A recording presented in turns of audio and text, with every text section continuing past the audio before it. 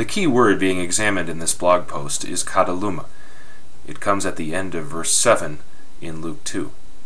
Note that the NET gives me extensive information on this word, first a translation note on the usage of this word, and then a study note on the use of this word in this passage.